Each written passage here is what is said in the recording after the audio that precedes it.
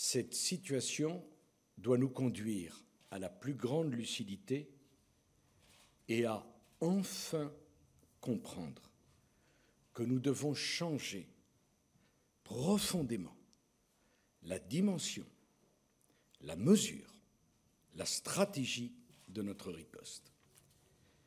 Notre ennemi n'a pas de tabou, n'a pas de limite, n'a pas de morale, n'a pas de frontières. Nous devons être impitoyables